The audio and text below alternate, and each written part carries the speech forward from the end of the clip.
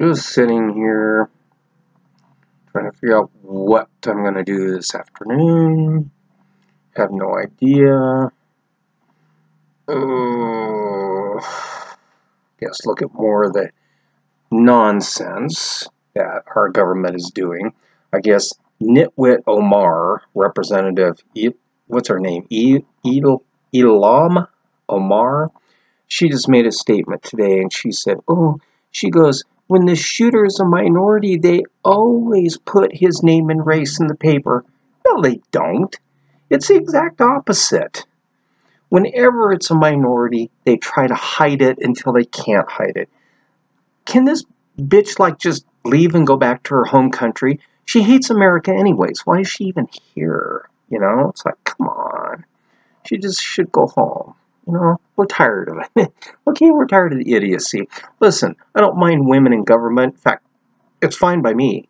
It's like, but can we get smart women in government? Can we get women who have a freaking brain in government instead of getting these Section 8 losers, you know, from third world countries? I mean, come on. You know, where are all these college educated women that have degrees in, in public administration and stuff? Where the hell are they? I mean, sure, we've got the governor, governor up in South Dakota who, by the way, she's hot. If she wasn't married, I would bang her, okay? I would totally bang her.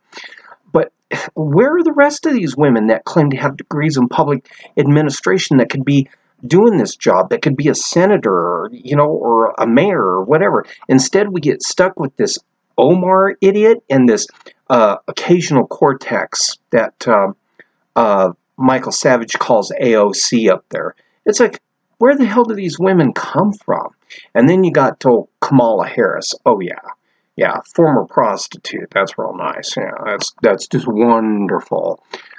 So it's like, come on, if you if the best women are out there, why aren't you in government service? Why are so few qualified women in government service? Where are the rest of you? I've I've met a bunch of you over the years. What the hell are you doing? You know, what do you would you just give up and go back to being a homemaker? Use a public administration degree for something good. Go run for senator. Go run for governor. Quit letting these losers, these left wing Democratic losers, get into government service. They're morons. They can't even find snow in the middle of a blizzard. Come on, ladies. I know there's a lot of you that are college educated. I went to college with a lot of you. I know you're fairly conservative. Not all of you are but most of you are fairly conservative. Where the hell are you? What are you doing? What are you hiding out with the militias in the mountains or something? Wait for the end of the world? Go get in government service. What you've done is you've abandoned government to these left-wing nitwits. You've created a vacuum. You know? Go deal with it. Okay? Want women in government service? Fine. Let's get more women in government service, but let's at least get some with brains, okay? These left-wing nitwits, these are brain dead fools. They, they, they can't do anything right. You know, so, you know, come on. You know, you know, do something. You know, because I'm getting tired of watching this crap every single day. I mean, Nancy Pelosi, I mean, when did California get this bad? I, I remember my grandfather, his uh, cousin was a uh, California State Patrol officer, and this was in the 50s and 60s, and, and California was like conservative back then. Even with Hollywood, it was fairly conservative. And now look at it. Everybody that comes out of California is like freaking brain dead. Uh, they moved to Colorado. These people from California do.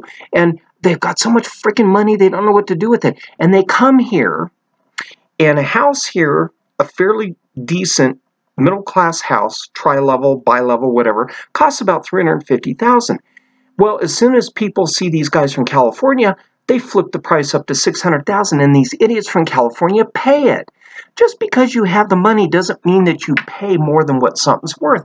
So why do we want these idiots from California that have all liberal brain deads coming to our state and raising costs through the roof?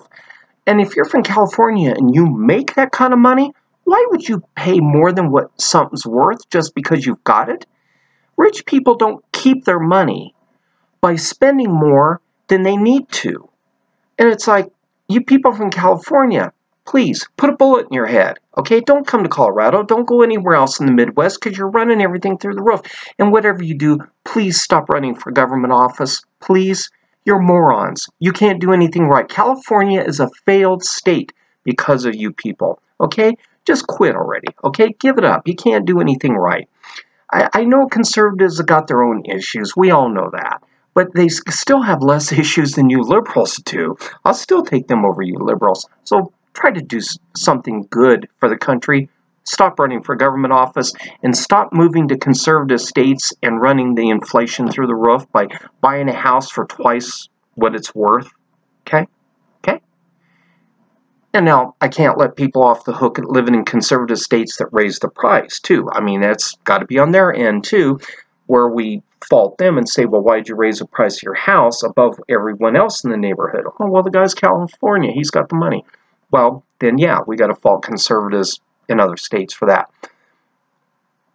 At the end of the day, it can simply be said that it's everybody's fault for the problems in this country, conservatives and liberals both.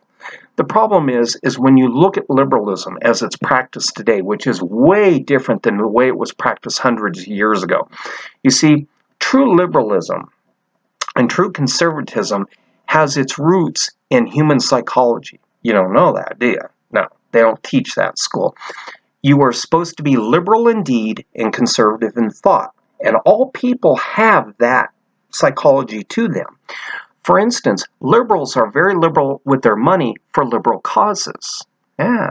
And conservatives, know, they don't really support their causes too well. They try to get money out of other people to support causes. In other words, a conservative will say, I love the NRA, you know, we got to keep them going. Oh, can you give me some money and I'll give it to the NRA? That's how conservatives work. Conservatives are, well, they're cheapskates. Let's not kid ourselves. So liberals support their causes. Conservatives, for the most part, do not. They try to get other people to support their causes. But the fact is, is that even a liberal is conservative with their own families. You'll find out that liberals, like in Hollywood, they send their children to private schools. Some of them even send them to private Christian schools, even though they proclaim publicly in their in their public bios that they're that they're atheists. No, they're not. They lie. They're actually very conservative with their own families. They don't want their children to drink, do drugs, or be exposed to homosexuality or anything like that. So they're they're hypocrites. And of course, on the conservative side, you find a lot of hypocrisy too. Uh, you will find uh, a lot of conservatives that have secret homosexual backgrounds. Once again, like I said in my previous videos, I'm not a bigot. I have friends and family members that are gay and lesbian. I love them to death. I will defend their right to live their lifestyle as they please to the death. It's just that being a conservative Christian, it's not a lifestyle that I'm allowed to live. But I will I will defend their right to be who they are. And that may sound contradictory to most people, but it's really not. It's not my job to try and stop them from the way they live. If they ask me, they say, you know, Bill, what, you know, do you think it's right or wrong? I'll say, well, personally, I think the lifestyle is wrong. However, however, there's nothing in the Bible that says that we are to persecute them or try and stop them. Our job is simply to say it the way it is. Unfortunately, conservatives get crazy when it comes to the homosexual issue. Now, the reason why is because a lot of them are homosexuals themselves a lot of these big pastors, these big evangelicals, they got secret gay lifestyles and the guilt gets to them. That's why I don't crucify gays and lesbians and transgenders like everyone else. Yeah, I just don't do it. it to me, it's not worth it. I have too many friends and, and a few relatives that are gay and lesbian. And like I said, I love them to death. I have gay friends that will do more for me than my straight friends will at a moment's notice, oh God, Bill, your car broke down. Yeah, let me give you a ride. I got a friend who's been gay since we were at a Christian school. We went to Lutheran school, and he was gay then. We all knew it. I didn't persecute him for it, and so you know, it's not something that I would do myself. I just, it's just not me. It's just not the lifestyle that I like, and it's not really a lifestyle I really approve of. But yet, at the same time, it's their life. You've got to let them live it let them deal with God with it. When God comes down and says, well, you know, it really wasn't the kind of lifestyle you should have been living, that's between him and them. Our job is simply to say this. We stand our ground. We say it's not the lifestyle we want as Christians, but we are the ones that have to live the Christian life. We can't push it off on others. How does this all come together with what we're seeing with liberals and conservatives. Well, the problem is, is that both liberalism and conservatism, as it's practiced today, is a contradiction in terms.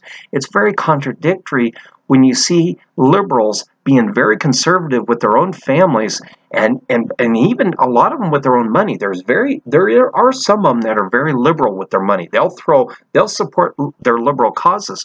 But if you really look at uh, the majority of liberals, they get money from you, the American taxpayer, to support their uh, things. So, yeah, liberals support their causes, uh, but usually with your money. Now, conservatives, they, they, they just they don't support their causes really.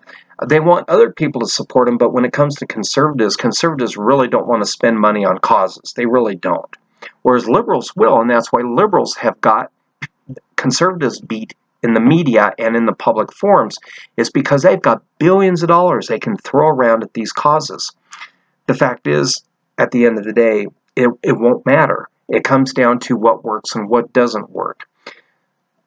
To those of you Christians who say, well, how can you be a Christian and support homosexuality? And say, I support it. I said, I had friends and relatives that are, and I love them to death, and I will defend their right to live the way they please, even though I don't necessarily agree with their lifestyle and would not get involved in their lifestyle. And by the way, I've gone with friends of mine uh, to gay nightclubs because they didn't want to go alone because uh, gays get beat up a lot.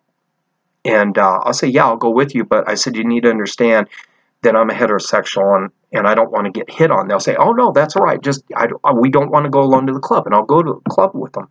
I have a lesbian friend, and she don't like going to clubs alone because of when they come out of the clubs, you know, you get these crazies, oh, you're a lesbian, whack, and they hit them. So they, you know, she says, you know, we we go with me? And she goes, just sit in the corner and have a drink, and, you know, when I'm ready to go, you can take me home. And some of my friends don't have cars, and I do. So, you know, that's why. And I do the same thing for my heterosexual friends that, you know, they need a ride or they don't want to go to a club alone or they don't want to go somewhere alone. I'll say, yeah, I'll go with you, but I don't want to do drugs and I don't want to drink. If I get a drink, I'll get a Coke or something like that. So what I'm trying to tell you is, is that I will help my gay and lesbian friends. If they need a ride, they need money, whatever. It's just not a lifestyle I can get involved in because of my conservative Christian beliefs, but I am not going to persecute them like other Christians do simply because it's not our job. It's not our job. We, we state our point we let it go at that. We state our point. We're conservative Christians. We can't get involved in that lifestyle, but we love you anyways because, you know, love is where it's at. So when we look at the whole spectrum of conservatism versus liberalism, we find hypocrisy on both sides of the fence. Conservative Christians, liberal. And by the way, many liberals are actually Christians themselves. Did you know that? Most of them are Catholics. Some are Protestants, but most of them are Catholics. A lot of people in Hollywood are Catholics, guys and gals. Yeah. Didn't know that, did you? Yeah. I used to work in Hollywood. I know. I was married into a show business family. I know what a lot of these families are. A lot of them are Catholics. A lot of them are Protestants. Justin Bieber is a is an evangelical comes from an evangelical family. And oh God, is he is he a headache and a half?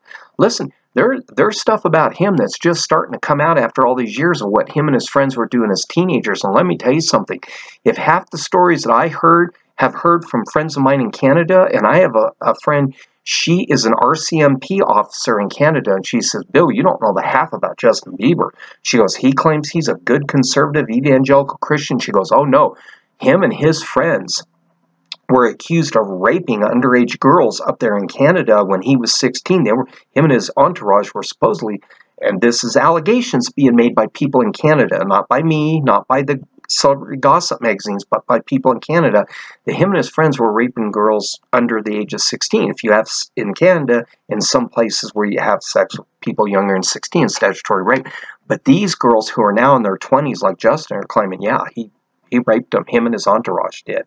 And these are very strong allegations coming from many different areas. So he is an example of an evangelical that is not practicing his faith. Okay, he's not practicing it. And if you wanted to look at Old Testament rules, this guy should be dead. Yeah. Under Old Testament rules, you rape a woman and you're dead. They used to stone rapists to death along with murderers. Yeah. So Christians are not as Christian as people think they are. And liberals, a lot of times, aren't as liberal as you think they are.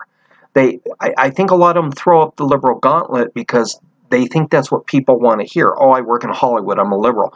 Oh, no, many of them are so conservative, it's not funny. Sharon Stone is an NRA member. Did you know that? When I was doing the Columbine research, she came out and she said, Who trained these boys to kill? What adult trained these boys to kill? That's, that's video that I have up on my uh, Google Drive. And she said she wanted to know who the adults were that trained these kids to kill because she says kids like don't normally want to kill like that. Yeah. And then all of a sudden, she gets hit in the head. Did you, remember, you remember that when she said she woke up on the floor and she thought she'd been drinking and then she remembered she hadn't had that much drink, but she ended up in the emergency room? Does anybody remember that?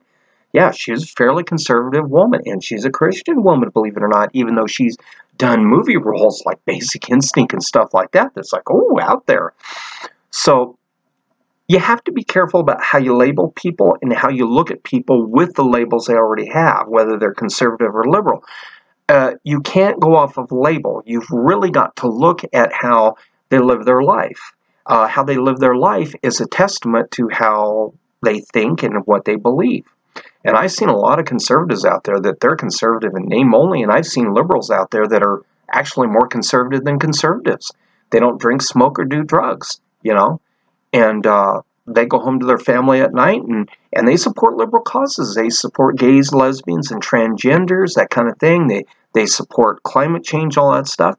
But yet they go home to a fairly conservative lifestyle at home. It's, it's really strange. So I think we have to be careful of the labels. We, we have to be very careful about where we go with this. And what we're seeing right now in the media with the cancel culture and, and this Omar, the statement she made today, it's like she's not very bright, and neither is AOC, that uh, Cortez.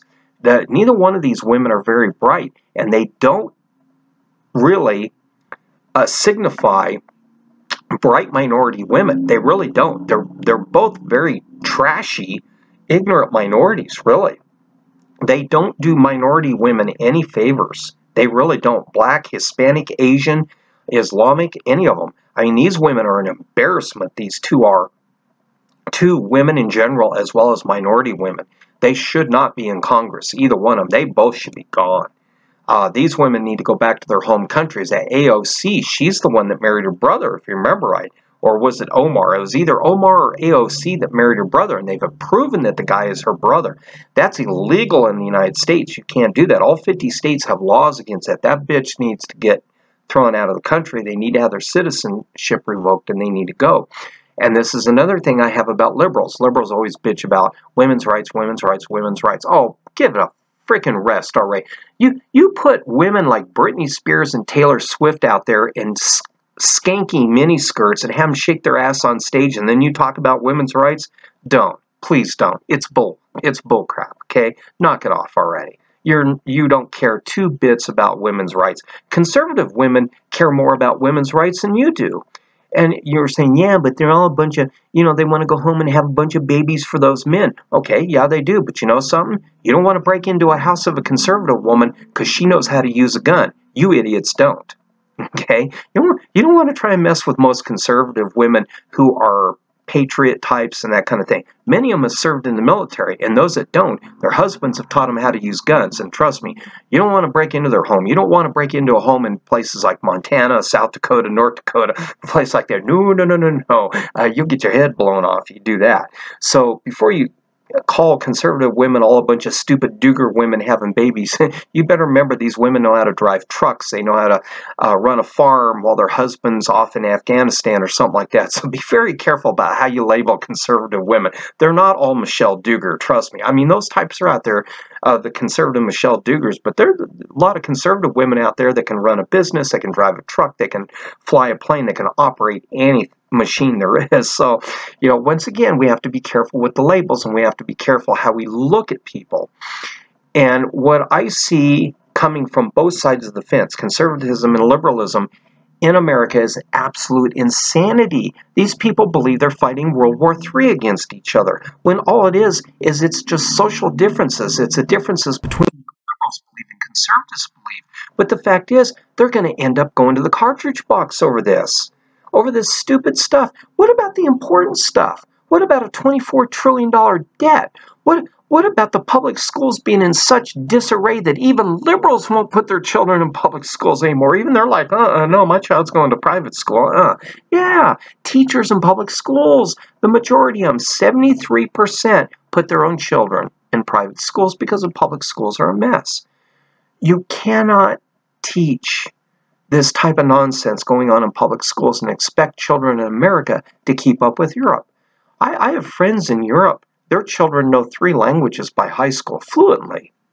Americans can barely speak English correctly, and, and yet and yet the Europeans are speaking by high school they're speaking three languages fluently. America's done. But it's not just liberalism that finished off America. Conservatives put a put a tanto in the belly of America too. You know, conservatives, look at what conservatives have been involved in. Look at the Iran Contra and all of this other nonsense. These were all conservatives that were involved in this nonsense. There's a few liberals thrown in on a lot of this corruption.